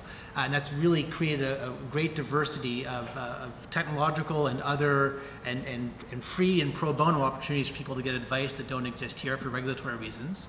They also allow alternative business structures, which is to say that lawyers and non lawyers can collaborate, again, not without regulation, but they don't have the what's effectively the prohibition that we have here on business structures uh, involving lawyers and non-lawyers uh, working in a corporate way. Uh, finally, um, the, uh, they have multiple legal professions, right? There's seven or eight independently regulated groups. There's a, a, a structure which oversees all of them, uh, but there's just many more opportunities for people to get professional regulated assistance because, uh, because of, of the existence of so many different professional groups. Also mentioned very quickly something happening here in Canada, uh, in BC, the Civil Resolution Tribunal, a completely online tribunal for resolving small claims and condo disputes. I think this is the most exciting thing to happen in Canadian civil procedure in 10 or 20 years, um, and I think we need our own Civil Resolution Tribunal here. Thank you. Um, I'm going to move on to, um, I think we've covered a lot of the material that we had decided we would try to cover today in terms of how to help people get access to the system and use it effectively. Yes, Joel? Janis, if- if I might, can I return for just a moment to the issue of regulation? Sure. Uh, One of the things that uh, is interesting about regulation is uh, that regulation, de- licensing deals with who can do, who we're going to allow to do the thing. And regulation is um, uh, who, but how. And one of the things I found uh, interesting is the American Bar Association. Uh, every bar association has rules of profe- professional uh, responsibility and conduct, and uh, as do we. And the American Bar Association, their uh, rules of professional conduct, their very first rule deals with um, the role of a lawyer. And one of the things that they state in their they have a rule and commentary, and we have rules and commentary. One of the things they state in their commentary is that uh, uh, it is permissible for the lawyer to take into consideration the economic resources of the client when considering the extent and degree of the delivery of legal services. So if you back up just a minute, we start with saying, as do they, that a responsible lawyer needs to do a whole bunch of legitimately understandable things. We need investigations, backup, we have to look at documents, we have to, there's a whole bunch of things we do. That creates a regulatory, that's one of the bricks in that regulatory wall, which says that if you have a big complex matter, there's a bunch of things that we have to do. And if you have a simple matter, we still have to do a bunch of these things, which sometimes become so costly that, in fairness, uh, I'm just a simple, I have a simple access issue. Uh, how much background research, if I say to you, these are the facts, can't you just accept those facts? The advantage of, the, of saying out loud that you can take into consideration the ec- economic resources, the financial resources of the client, pushes the delivery of uh, services into uh, different areas for those with modest means as compared to those with lavish means. And uh, I want to be polite about this, but I don't know how many years it's been since we've had a really, really good look at our particular rules. Our rules are great for the law that used to be, but it seems to me that as a part of regulation, it would be helpful to take more cognizance of the fact that there are people involved with personal plight issues, immigration, landlord and tenant, family law, uh, all kinds of matters where the full formal regulatory requirement makes a little, I won't say makes less sense, since they can't afford it.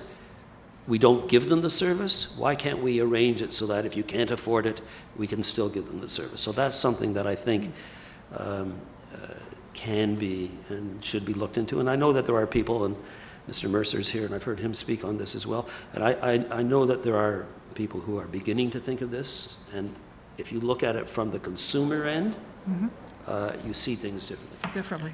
I'm going to move on just because we're approaching the point where I'd like to uh, take some questions from all of you good people in the room. Um, uh, Our final question is, what is the role of decision makers uh, and their limitations? And it ties in with a question from the internet, um, uh, wh- uh, which is, does the panel have any advice on general best practice for lawyers when the opposing party is a self-represented litigant? Um, I can tell you right now, I don't give legal advice anymore because I don't practice anymore, which means I'm not insured. But I'm happy to share tips and tricks. So, with that disclaimer, the um, I've been judging small claims for 23 years now, um, and I've developed a number of techniques to assist self-represented litigants. The first thing is there's a bit of a dividing line between uh, providing assistance with procedure or common courtesy, as it's known in the legal world, um, and actually providing advice on how to conduct the case.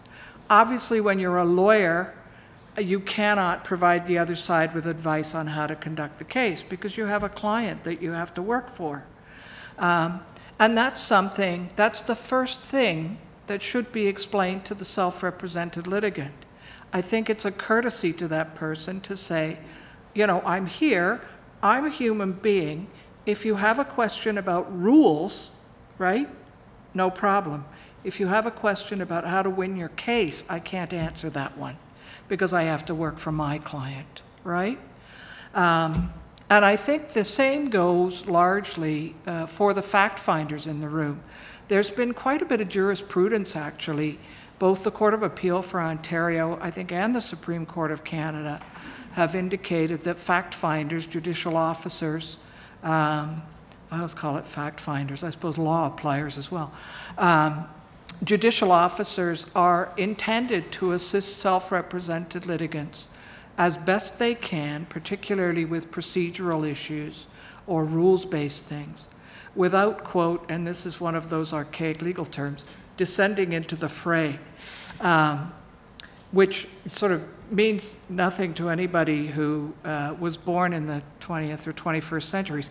The, without, without becoming partisan, I suppose, right? For example, one of my earlier cases, I- I'd probably been sitting as a deputy judge for maybe a couple of years, and um, uh, the lawyer was, um, or pardon me, the self-represented litigant was cross-examining a witness, um, and a couple of times I stopped and said, no, you're supposed to be asking questions about that witness's evidence.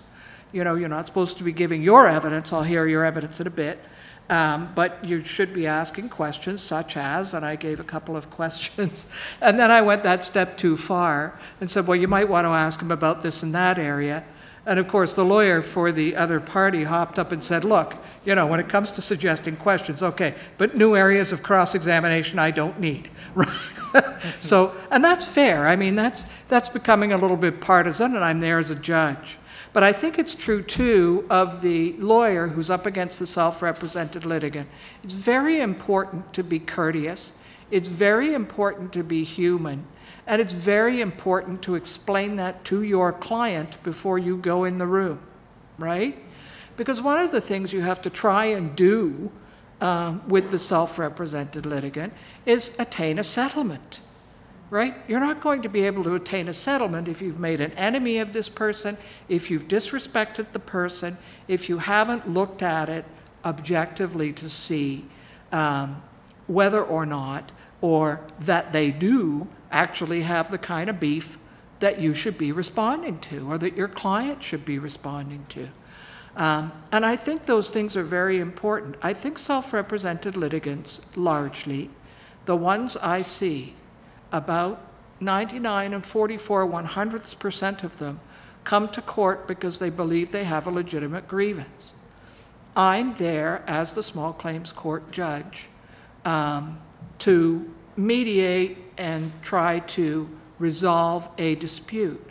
If I'm not there, if those people can't come to me, if they don't understand what they're doing, and if they can't come and make their um, um, positions known, then we don't serve society in the larger sense.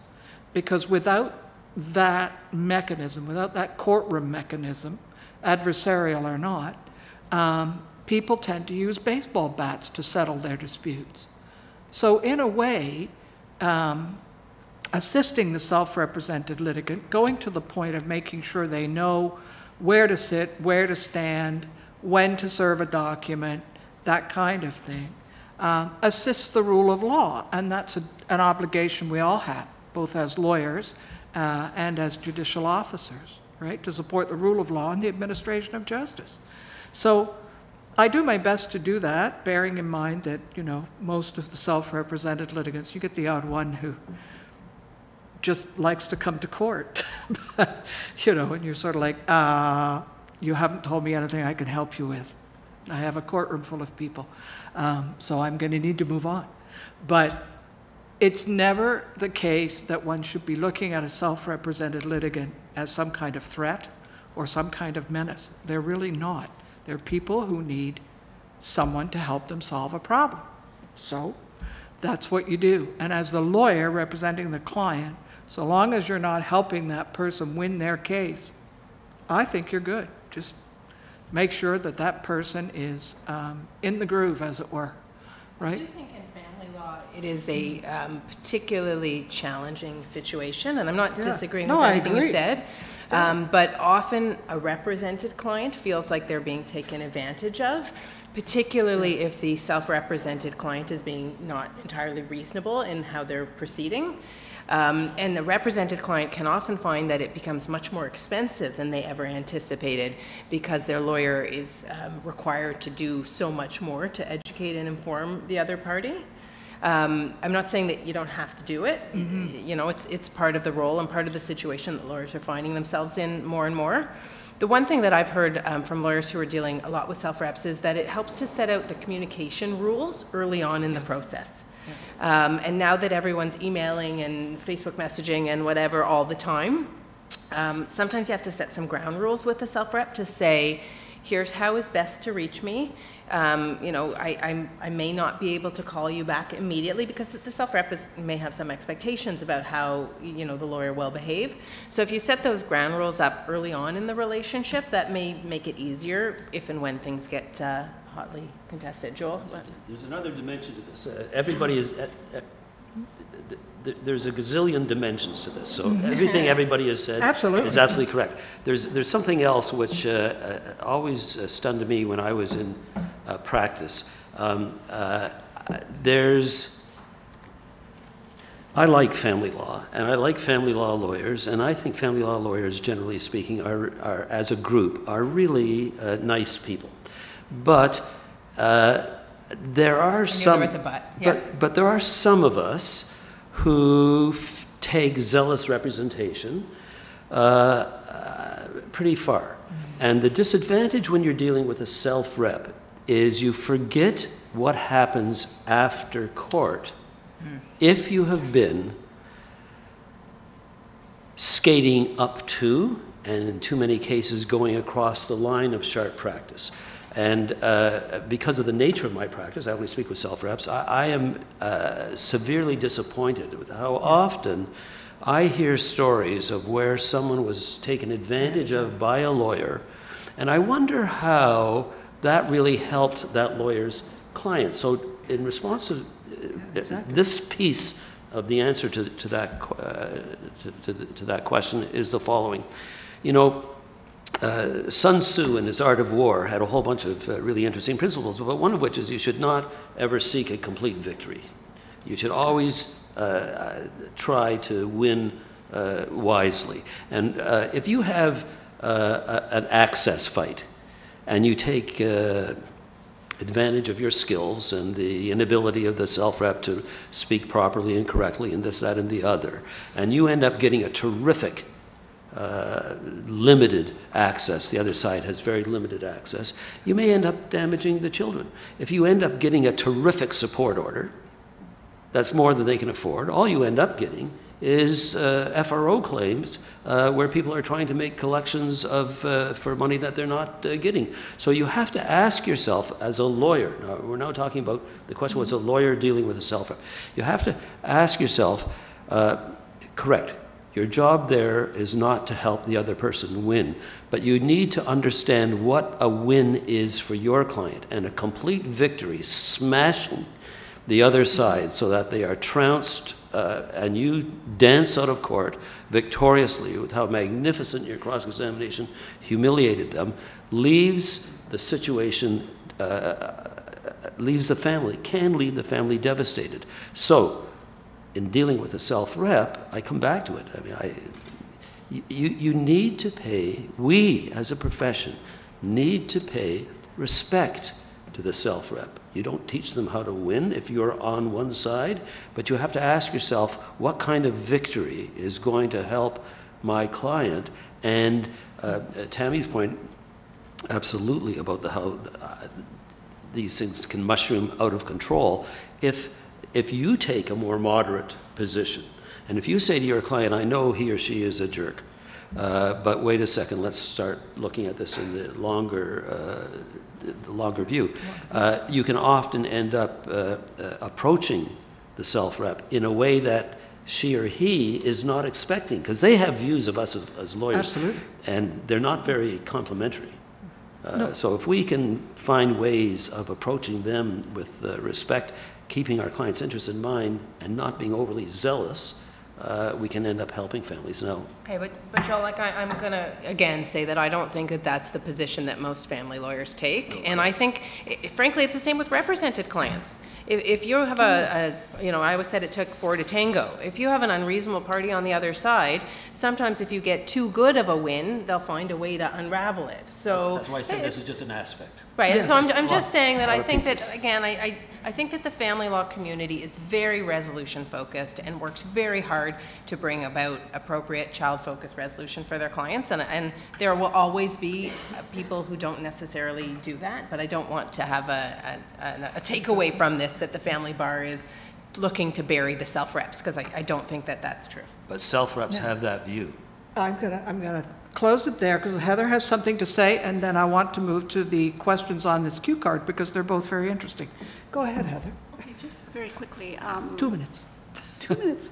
Um, I just want to say that just because um, I'm co-founder of Self-Rep Navigation, uh, Self-Rep Navigator Association, and I really care a lot about the rights of self-reps, uh, it doesn't mean that uh, I dismiss the, the rights of uh, represented, cli- represented litigants. It's because um, a lot of times people who are self-represented, they switch back and forth. They can become represented clients the next day, right? Or they start represented. And they, then- yeah. right. So, uh, so I don't want to uh, get into this mindset of us versus them, represented versus versus uh, self-represented versus represented. At the end of the day, I um, echo what uh, actually both Tami and Joel are saying: is that you need to balance. Um, you need to be uh, careful that you're being fair to both sides.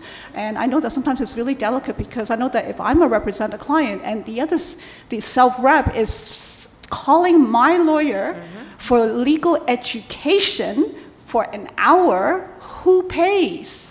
This is a very difficult thing. I mean, because I know that as lawyers, you know, we have we have this duty, right? But at the same time, then what we we bill our clients. I mean, can you imagine, like, if you're the represented client and you're saying you just gave a whole hour of legal education to my opponent, how much that hurts. So, and you know, and if you, I think that uh, as self reps as well, I think they should also be able to understand that because one day perhaps they will want to be uh, a represented client. So, but I think that if you kind of explain it that way, um, and you, as I, I, I totally agree. Um, so, Tami, I absolutely agree that we should, you should set up some ground rules beginning and say, hey, you know what, like, um, if you need more help, maybe go to uh, go to the MAG website for help, uh, things like that. Go to CLEO, go to Step to Justice, and uh, I cannot be answering questions like this because this is not fair to my client. And yeah, Oh, no, I certainly think that's true. There are limits to what you can do when you are, no, no, that, absolutely. And as I say, the first thing you have to do is explain it to your client, to say, look, the courts say that I do have an obligation to assist in procedural ways. Oh, no, absolutely. And you would not spend an hour on the phone educating your opponent. You would simply say, look, I can't do that because that's not fair, right?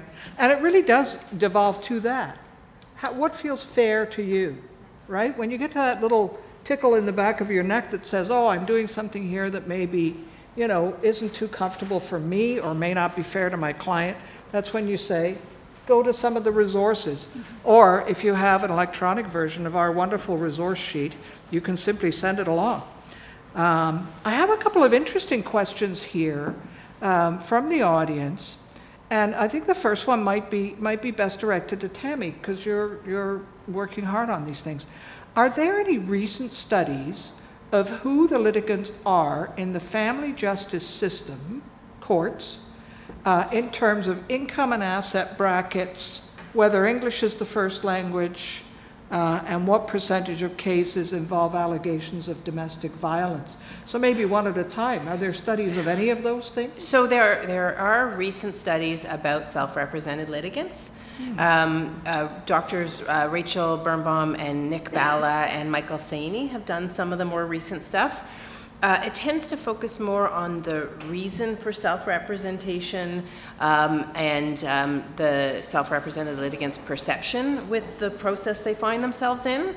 Um, I'm not sure any of that deals specifically with the um, income issue, although I think Dr. Macfarlane's research does touch on that issue. Um, also, um, Alf Mamo in 2007 did a case file review of some Unified Family Court files and has some information. I think it was it was um, uh, understanding the family courts. Anyways, um, there, there's some data there, which is obviously a little bit old. Um, I don't think anyone has connected that to um, raising to um, concerns or claims being made related to domestic violence yet. I haven't seen that connection. Um, and there are some domestic violence um, focused resources for um, self-represented and represented litigants. Uh, the Family Court Support Worker Program is available, again, to some extent, but at most locations in Ontario. Um, also, Luke's Place just um, last year, I think, launched a virtual legal advice clinic for domestic violence um, uh, survivors. Um, and then, of course, there are the tr- services that have traditionally been provided by Luke's Place, Schlifer Clinic, um, and uh, legal aid. Uh, and this, uh, the area of domestic violence is one area that doesn't seem to have been overly impacted by the recent cuts in services. So um, just, not that the research speaks to that, but Yeah. Uh, Noel says he knows a study. Uh, Yeah, just the work of John Paul Boyd and the Canadian Research Yep. uh, Institute on Law and the Family is helpful on that. All right. Uh, Because I think what, we're- what they're really looking for in this question is demographics, and I'm not sure, every- like demographically, who are the income asset brackets that wind up self-represented? Who are those, right? Well, that- there's, that's Yeah. actually broken down very neatly in, in the Macfarlane and the National Oh, is it in Self-Representative. Dr. Macfarlane's work? Uh, Okay. Page 29 or something like Oh. that. Uh, uh, It's, it's it's fascinating. It breaks it down to education, age. I love the fact that you have a page number, right? who, who, who, who's uh, the, the percentage of people, Yes. uh, of men and women who are uh, respondents and applicants, uh, income spreads, and frankly, the information is astonishing. If I'm correct, uh, uh, something like uh, almost half or more than half of the people have university education, Mm-hmm. uh, as opposed to uh, lesser. Uh, Their income levels are much higher than uh, we would think, and uh, so, yes, it- that, Well, that also, that is that looked at. information, I think, contributed to some of the information that came from the Legal Innovation Zone, which talked about how much, um, uh, how much resources there are available for professionals, for people who have some money to, to address their legal, uh, their unmet legal needs. And I, I forget the number. It was, it was a high number. Some might have found it kind of shocking. Um, But I think it was the, the income levels which led to that in terms of the potential unca- uh, untapped market. Yes, yes. Now, the other question was, how do we help people who can't afford uh, any services and cannot get legal aid uh, any longer when general information is not sufficient? I, th- I think really Heather and, and Joel are the best examples of that, right? The, uh, and I think unbundling actually is the best example of that. Yeah, the other thing is CLEO, um, i- it's Yeah. general information, but it is quite targeted. So I think even represented clients would uh, do themselves a favor by checking out Steps to Justice. Right. Um, Steps to Justice also has started doing smart forms for family cases. And so um, that's another tool that will be available. They're adding more every quarter. Um, but, I mean, the reductions in legal aid services, we're feeling it already in family. Uh, the mediators are feeling it. It's harder to come to a resolution if people don't have access to um, some form of summary or, or other legal advice. Um, you, you know, there's the, the, we need more tools in the toolbox, and I think that unbundling and coaching and you know everything can help. Yes, Heather? So I was going to add that, um, um, uh, so the, the internet sites are great. Like I, even I go on it uh, every so often to find information, but I always like speaking to a person. Um, and it's so much faster, so much easier, right, to, to have a person. So my next level of help I would usually go to uh, would be um, uh, clinics. And in fact, this is what I tell people to do.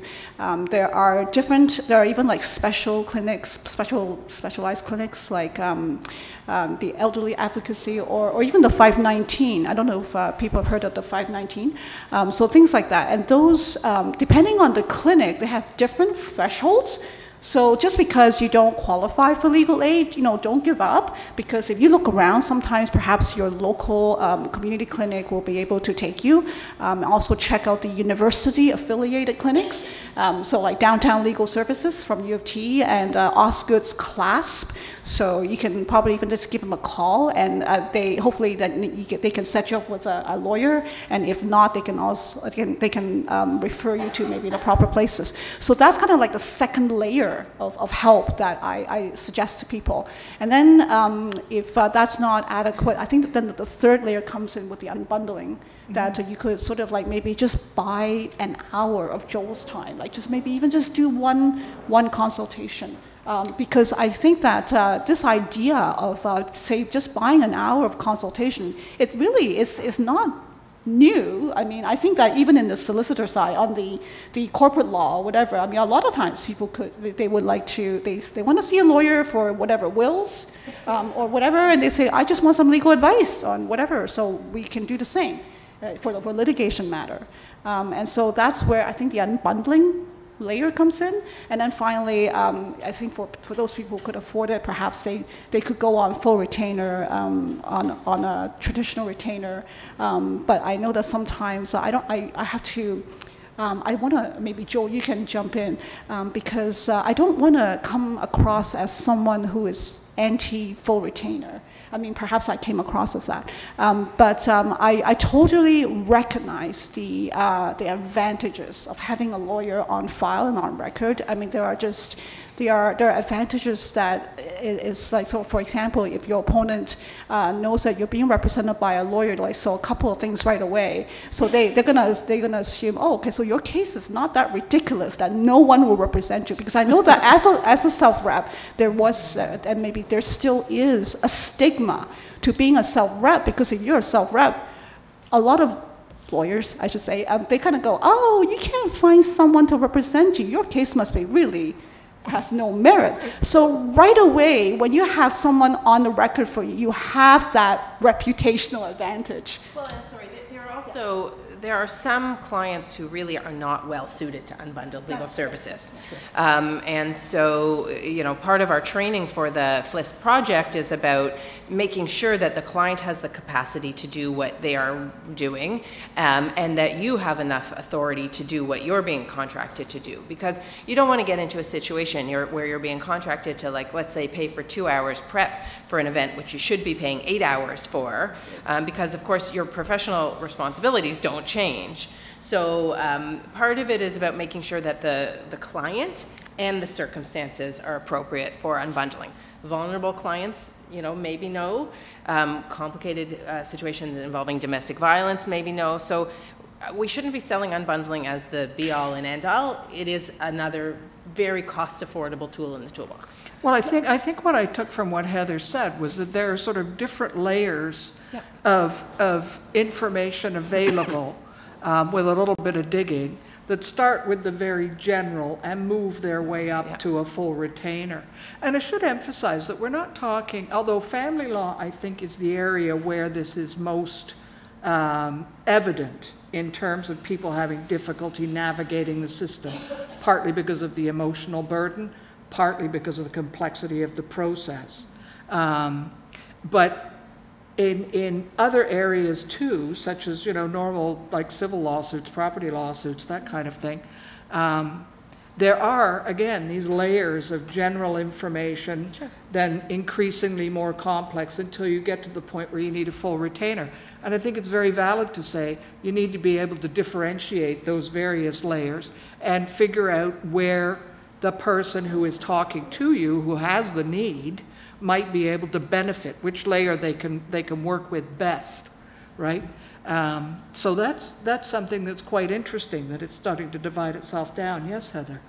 Yeah, I was just going to say that uh, in addition to the layers, um, which is uh, absolutely correct, I also want to um, support what Tami just said, because um, the vetting of clients for for coaching um, that has to be um, done very carefully because um, I actually came across like there was one case I handled and the person really didn't have the really the capacity um, to to be coached, um, and uh, so it's I, I got into a really big dilemma myself because I was on the one hand I don't want to prejudge her and I don't I want to I want to help her as much as I can, but then at the same time one of my senior one of my senior mentors put it to me this way. He said like, do you want to give keys to the car to someone who doesn't have the ability to drive. So, so then when he put it that way, I, I was really taken aback, and because one of the first things that you have to remember as a lawyer is um, it's not just a job, right? I mean, you, you don't want to be you don't want to be helping someone to make their lives worse. Like when you know that that person really cannot handle a case, and then you're saying, okay, do this, this, and you're, you're basically enabling them to a, a worser outcome. And I really had difficulty. Well, um, and I think, you know, perhaps in that circumstances, ghostwriting their pleadings would be more of a value add for them, right? Because the bottom line is, if, if you're, if they don't have the capacity to, to, to benefit from coaching, then you're not really doing them a service. So it's part of kind of tailoring the process to the client's, uh, capacity is not the right word, but ability to benefit from. Sorry, I was just going through, we, a, a number of questions have come in related to um, uh, paralegal scope um, and to, uh, for example, the, the law coaching clinics, can paralegals come? Right? I mean, I, I might fit in with non-lawyers. The- but- The initial training will just be for lawyers Lawyers, because it's yeah. focusing on the provision Yeah. of family law services and the, the limited Yeah. scope retainer, and, and that so far is out of scope for. But it's not to say that that would never, would, that would never widen out to uh, include, say, paralegals and even non, non-licensees. Well, I mean, it's going to depend on what the Law Society decides is an appropriate scope of practice, right? That too. But, you know, the education isn't a regulated service. I'm talking, you know, because basically you're talking about education and coaching, right? Yep. You're not talking about actually delivering the service. Right, but the Um, project yeah. is funding the training, and the, the Yeah. project is, is focused on developing this capacity amongst fa- family. Absolutely, all right. Um, Yeah, so there've been a number of questions about paralegal scope, and it's a little, although it's a little beyond the um, scope of this particular discussion. The, uh, another, there's another question that's been specifically addressed to Noel, and I think what I will do, as long as the person doesn't mind, is provide the person's name um, to Professor Semple, um, and perhaps you and he can have an offline discussion about that, if you can find each other in the great cyber web. All right, I just, before we finish, um, we got about 10 minutes left, but I did want to mention um, some of the resources, that we've talked a lot about resources that the Law Society has, resources that are on the sheet, resources on the web, resources among, uh, you know, for various practitioners. Law Pro also has some resources to help uh, lawyers with this. LawPRO is the insurance company for lawyers, insures lawyers against malpractice, one of which is this um, um, rather useful thing, because one of the things that, that lawyers in particular never think about is what happens when you walk into a courtroom, right? Because we all, you know, I, it sounds so elementary, but we all know where to sit, right? Other people might not. Other people might walk in and see a totally unfamiliar uh, milieu and totally unfamiliar setup. So this one is called the First Timers Going to Court Cheat Sheet. I think there are some out on the sign-in table. Um, and it's very basic, what to do when entering the courtroom, where you sit, where the witness sits, where the judge sits, et cetera. Um, and I know that that is an issue, um, uh, you know, when self-represented litigants come into small claims.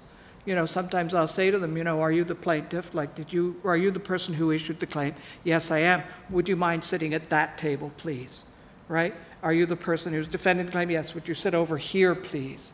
Um, partly because I don't want to give judgment to the wrong party, um, because I'm so used to having everybody in the same place, right? Um, but I think it is important, and if that, that kind of basic information is of interest to you, there are some court tips on the back. Um, you'd certainly be welcome to have a copy of that to use.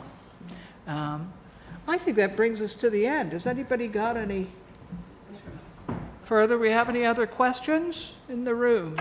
Yes?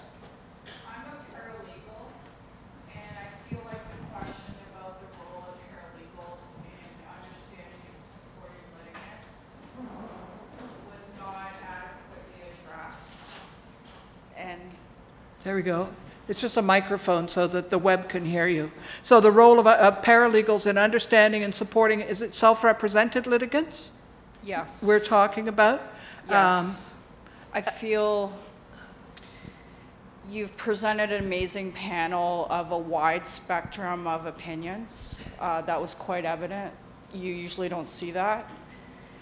But I feel like somewhere in the middle, uh, we have this whole class of uh, legal practitioners, paralegals, that are not really being incorporated into the solutions that uh, the people of Ontario deserve. I, And we I have happen to agree with you on that, yeah. we have some major issues here, and uh, until we really understand what paralegals can do to fix some of these issues, uh, today I can tell you, having sat in this wonderful environment, it's all about the lawyers. Well, I, I agree with you. It's certainly been all about the lawyers today. That's largely because, and because we have largely focused, I think, on the family law aspects because that's where the, the self-represented litigant um, is most often encountered. The, um, the paralegal issue, just to, just to set a little context, I was vice chair of the Paralegal Standing Committee. Um, and I see paralegals all the time at small, uh, small claims court. I am very supportive of paralegals becoming uh, one of those layers that we were talking about in terms of sort of layers of uh, different layers of representation and different levels of representation. Um, I do think it's an important thing. That said, um, when it comes to regulating a particular delivery, a particular service delivery by any group of people, by any particular group of people, there are a whole lot of details to consider. Um, and I know that the Law Society is working through its details now, those details now, in accordance with Justice Bonkalo's report, because I was working on that up until May of 2019. Um, and I, it, there, there are so many more details than one can possibly imagine. The upside is that you have five very competent, very good paralegal benchers um, who are also working on those issues. Um, and when I, when I left, or failed to be reelected uh, in May of 2019, it was actually coming along pretty well. You know, things were moving along. It, it always takes longer than one hoped. That, and really, that's the best I can tell you. And you're right, today's program has focused on lawyers, partly because a lot of it's been about family law. Well, but to be fair, Yeah. the presentation did talk about more ladders and, and Oh, opening up absolutely. the field, right? Yeah, yeah, yeah. There's But I think it's, yeah. There- There's also a secret rule. Uh, I think it's uh, Rule 4, uh, which uh, allows a judge to uh, permit a non-party to, s- it- I'm speaking in family law, um, which allows a judge to permit a family, uh, a non-party to speak. I have to tell you, it, uh, in my own experience and from what I, uh, from when I was in practice, uh, talking to other lawyers and certainly talking to self-reps, um, I don't think judges are asked very often uh, to allow a sister uh, or, or a neighbor or friend to, to speak. Uh, and I don't think it comes up very often, but uh, I have been stunned. Uh, I, I'm frequently amazed at uh, things. And one of the things that amazes me is that the Law Society bylaws says that for everybody else in the world, except for family law, you can have a neighbor or friend who doesn't have a license appear. Uh, That's a bylaw for, uh, section, what, in the 20s, whatever it is. You can have, and you can have a family member. The only rule is the family member can't charge or can't get any benefit, and the neighbor or friend cannot, can't get any benefit, can't do it more than three times. But you can't do that in family law. And I've often wondered, why is it that family law is so zealously protective of uh, only members of the union uh, are being allowed to speak as opposed to friends, neighbors, uh, etc., uh, when we acknowledge that in every other area of law, you, you can do it. So I'll just say that in that respect, I think family law is different.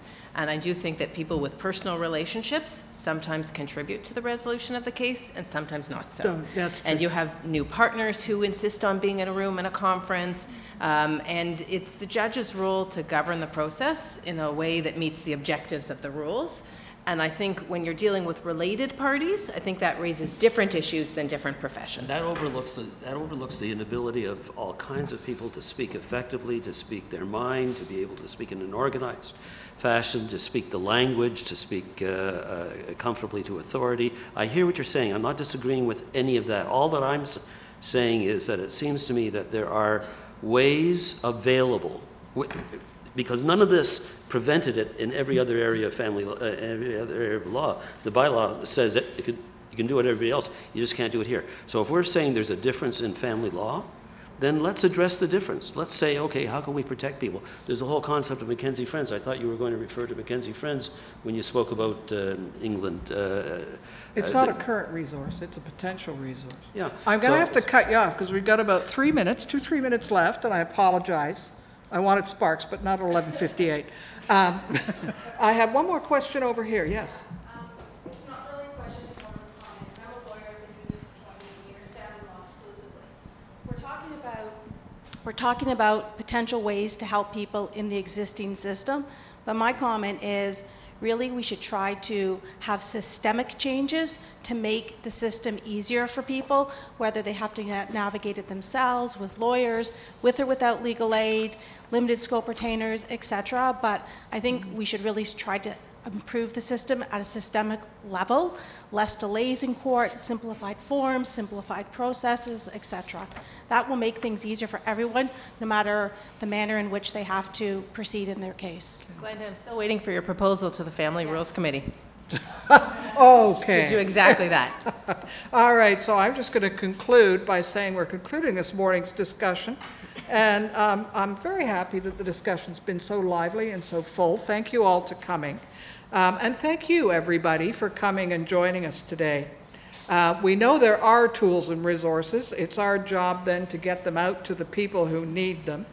We all have a role to support the ongoing work that the Law Society and its partners do every day on the Access to Justice file.